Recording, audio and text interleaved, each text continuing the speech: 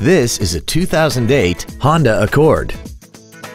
This four-door sedan has a five-speed automatic transmission and an inline four-cylinder engine. Its top features include a double wishbone independent front suspension, traction control and stability control systems, a premium audio system, aluminum wheels, and a tire pressure monitoring system.